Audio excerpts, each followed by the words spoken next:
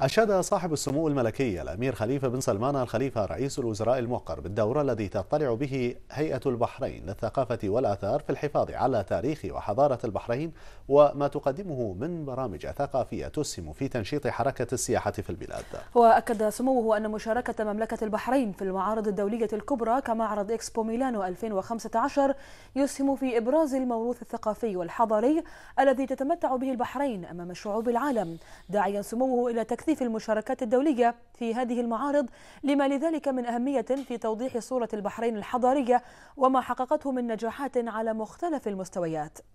جاء ذلك لدى استقبال صاحب السمو الملكي رئيس الوزراء الموقر بقصر القضيبية صباح اليوم لعدد من أفراد العائلة المالكة وكبار المسؤولين حيث ناقش معهم سموه عددا من القضايا المحلية.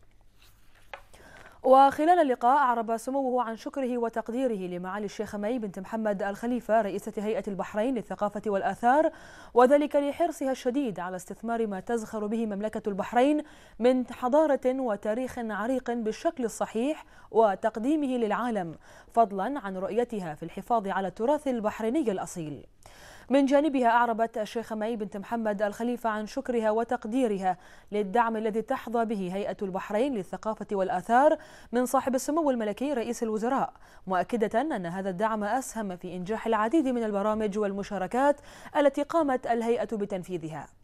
وقدمت رئيسة هيئة البحرين للثقافة والآثار شرحا عما يتمتع به جناح البحرين في معرض إكسبو 2015 من تميز وما حظي به من ردود فعل إيجابية من قبل الزوار ووسائل الإعلام إضافة إلى ما ستقدمه الهيئة من عروض في جناح البحرين في اليوم المخصص له والذي يصادف الرابع من سبتمبر 2014